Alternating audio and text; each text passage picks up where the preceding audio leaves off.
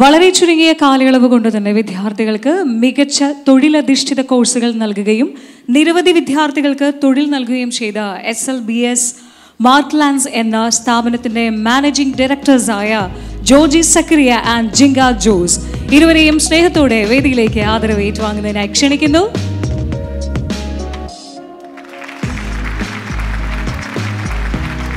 പുരസ്കാരം നൽകുന്നത് മമ്മൂക്ക.